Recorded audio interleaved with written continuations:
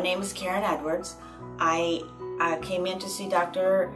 V because my blood sugars were way up in the 300s and uh, I was taking 30 units of Lantus at night and up to 10 units of uh, Humalog during the day with each meal. I'm down to zero um, uh, Lantus at night and uh, my Humalog has decreased considerably. My blood sugar this morning was 97. I did not have Lantus last night. Uh, I am enjoying the new freedom from shots and um, I'm very pleased with what I have done.